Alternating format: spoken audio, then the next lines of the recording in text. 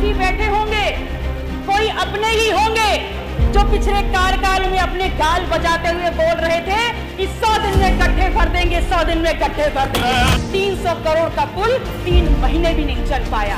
अगर नाम देना था तो मेहुल चौकसी का दे देते नीरव मोदी का दे देते गौतम अडानी का दे देते दुर्गा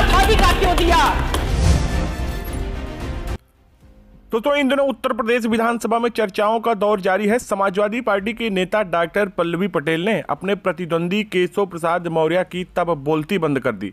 सिराथू विधानसभा में केशव प्रसाद मौर्य को हराने के बाद पल्लवी जी ने कहा कि ये किस हैसियत से यहाँ पे बैठे हैं। अभी हाल ही में 300 करोड़ की लागत से पुल बनवाया और तीन महीने भी नहीं चल सका। गाल बजा बजा के कहते थे कि सड़क के गड्ढे भर देंगे, लेकिन वो भी नहीं कर सके।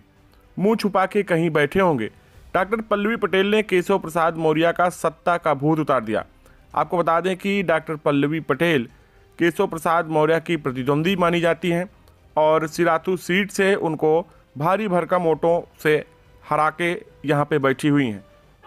गड्ढों को भरने के लिए पूरा सुन लीजिए मान्यवर पूरा सुन लीजिए तब ताली बजा लीजिएगा क्योंकि क्योंकि अब तालियाँ रिवाइंड नहीं होंगी अब तालियाँ रिवाइंड नहीं होंगी। आपने लगातार आपकी बजट में विकास आपकी इंपॉर्टेंस में है, प्राथमिकता में है, बहुत बढ़िया। और इसलिए, क्योंकि लगातार उन्हीं गड्ढों को भरने के लिए आप बजट पे बजट देते चले जा रहे हैं।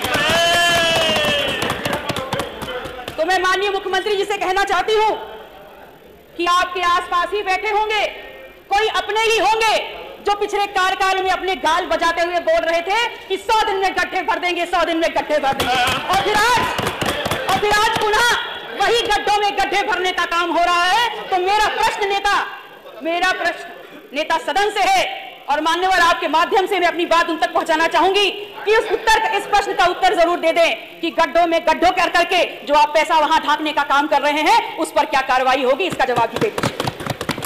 और मैंने ये प्रश्न इसलिए पूछा क्योंकि मेरे क्षेत्र से राथू में एक पुल बनता है, शहजादपुर का पुल। लगभग 300 करोड़ रुपए का वो पुल बना और उद्घाटन के तीन महीने बाद उसकी सरिया उखड़ उखड़ के ऊपर आने लगी। और नाम दे दिया नाम दे दिया दुर्गा भाभी सेतु।